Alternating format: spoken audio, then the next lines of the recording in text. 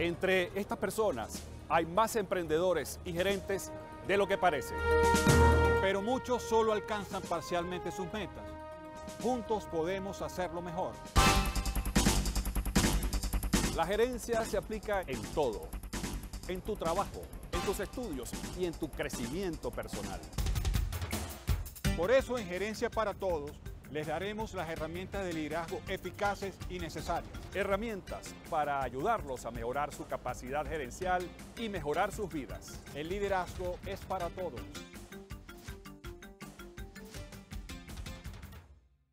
El siguiente espacio es un programa informativo con elementos de lenguaje, salud, sexo y violencia tipo A.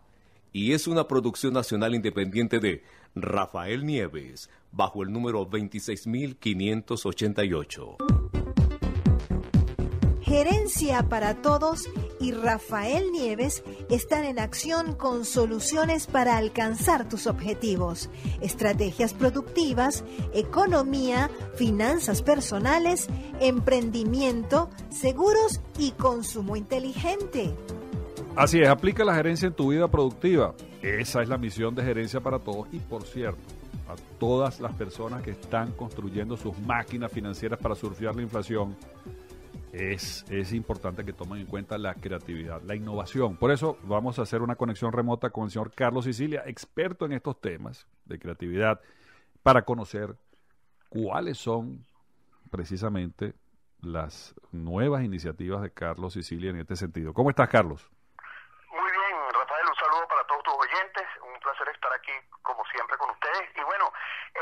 quería conversarte sobre un tema que habíamos hablado nosotros mm, offline el otro día, que tiene que ver con el asunto de la creatividad. La, la gente tiene un, una especie de tabú con la porque eh, eh, la gente que no ejerce la creatividad, por así decirla, normalmente porque su trabajo no lo requiere, más allá, o sea, no es una creatividad en el sentido de un creativo publicitario, de un dibujante, de un compositor, etcétera, se siente como intimidada por los creadores y piensa que la creatividad es un don de los dioses que a él no le tocó, etcétera, etcétera. Como te comenté en una ocasión anterior, hay dos tipos de personas en el mundo, los que creen que uno viene al mundo con una bolsita con 78 ideas que las tienes que administrar toda tu vida y los que saben que la creatividad es como hacer flexiones, mientras más hagas, más puedes hacer y eso no tiene límite. Entonces, la mejor cura contra el miedo a la creatividad es simplemente ponerse a inventar cosas, no importa qué tan chimbas o qué tan deficientes o qué tan pobres te parezcan, lo importante es ejercitar el músculo creativo per se. Entonces, hay otra cosa muy importante también, que es que tú tienes que hacer el, todos los trabajos creativos, todo lo que tú hagas, lo tienes que manejar desde un punto de vista precisamente como si fuese ese ejercicio muscular del que hablábamos, pero además tienes que asociarlo a cosas que te gustan. La creatividad funciona mucho mejor cuando el tema te apasiona, cuando hay entusiasmo.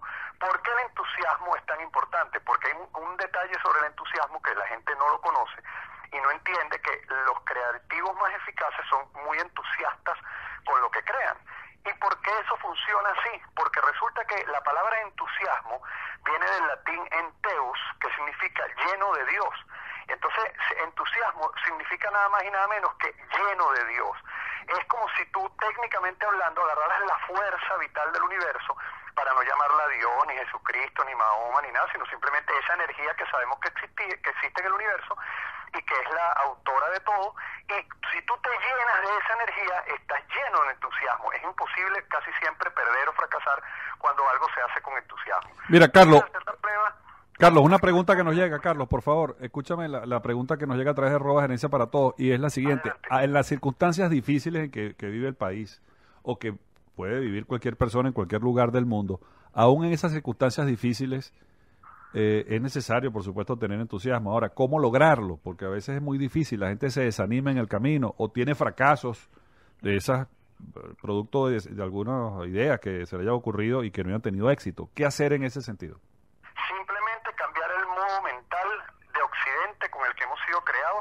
cambiarnos al modo mental de Oriente, de Asia, que es el modo mental superior. Y me explico.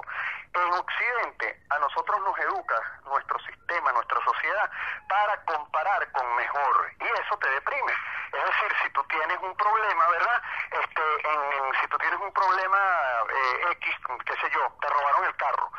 Y tú, entonces tú te vas a comparar automáticamente como venezolano, como occidental, con, el, con la época en la que tú tenías el carro, que es una época técnicamente mejor. En cambio el asiático no, el asiático automáticamente cuando le roban un carro, un japonés, un chino, un tipo de Hong Kong, inmediatamente lo que hace es compararse con los que no tienen piernas. Y él le da gracias a su Dios sea cual sea su religión o en su forma de pensamiento, él no lamenta la desaparición del carro, sino que dice como conchale, gracias a Dios que todavía puedo caminar, porque hay gente que no tiene piernas. Ese es todo el secreto de la civilización occidental y del poderío económico de los chinos y de los japoneses. Ellos comparan con peor. Si tú comparas con peor, obviamente te sientes mejor. Pero si tú comparas con mejor, obviamente te frustras y te deprime. Mira, por cierto, Carlos, otra pregunta que nos llega, que recuerdan el programa tuyo, Carlos Sicilia, y el tema de que venían los japoneses y los japoneses no llegaron por fin. No, yo me equivoqué, pues, bueno, no, acerté con los ojos, porque los dos ojos son oblicuos, pero en realidad eran los que llegaron fueron los chinos y no los japoneses. Lamentablemente, porque a mí me parece que los japoneses este, son como un poquito más tecnológicos, en el sentido, eh, los chinos trabajan más, pero los japoneses son más creativos, en Mira, Carlos, otra pregunta. ¿Cuáles consideras tú que deberían ser los pasos básicos, las personas que nos están escuchando en este momento, para que enciendan su creatividad y, sus procesos de innovación? Mira, lo primero que tienen que hacer una persona es partir de cual... Mira, le voy a dar un consejo que, que en este caso es grupal, no es para una sola persona, para los trabajos en equipo. No hay nada más triste en América Latina y en Venezuela que la realización de un brainstorming. ¿Por qué? Porque el brainstorming se convierte una guerra a ver quién da la idea más genial. Y ese no es el objetivo de un brainstorming. El objetivo de un brainstorming es que tu idea, así sea chimbísima o terrible, me recuerde a mí algo que lleve a la idea que va a ayudar a todo el equipo. Entonces, el secreto de un buen brainstorming es que tiene que hacerse un acuerdo mutuo entre todo el equipo en que no se vale burlarse de ninguna idea. No se trata de una competencia para evaluar a quién se le ocurren más genialidades. No. El secreto de un brainstorming es aportar lo que sea. Esto es herencia para todos. Gracias, señor Carlos Sicilia. Gana autonomía y productividad. Conéctate a gerenciaparatodos.com. Prensa, web, radio y televisión. Síguenos en arroba gerencia para todos.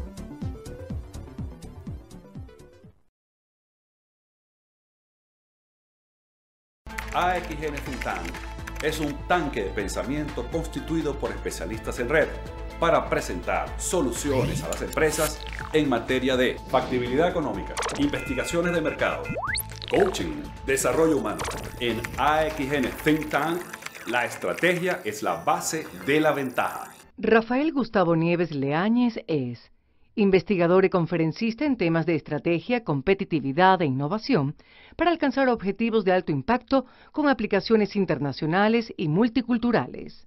Es autor de los libros Creatividad e Innovación Aplicadas, Liderazgo Eficaz, Ingeniería Personal, Negociación Práctica Multidimensión y Estrategia Real. Es el editor de la publicación multimedia de estrategia gerencial Acción Empresarial, en sus versiones de prensa, web, radio y televisión, con ediciones en español, inglés, francés y alemán. Es el conductor radial y televisivo del programa Gerencia para Todos.